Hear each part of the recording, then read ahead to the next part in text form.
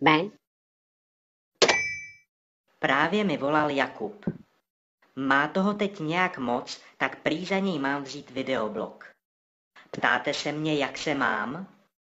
No, jsem reverendův domácí mazlíček. To je fakt psí život. Když se na to, jak se máš, ptali apoštola Pavla, odpovídal něco ve smyslu. Ve vězení jsem byl kvůli své víře už vícekrát. Ran jsem si užil do sytosti, smrti jsem často hleděl do tváře. Od židů jsem byl pětkrát odsouzen ke čtyřiceti ranám bez jedné, třikrát jsem byl trestán holí.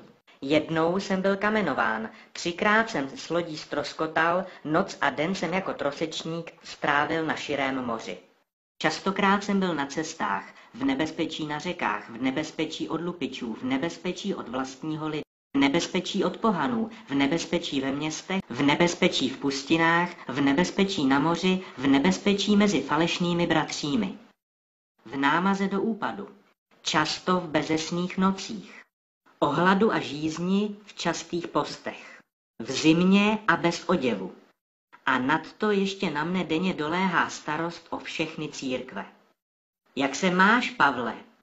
Tlumočil jsem vám Pavlovu odpověď ze druhého dopisu korinským 11, 23 až 28.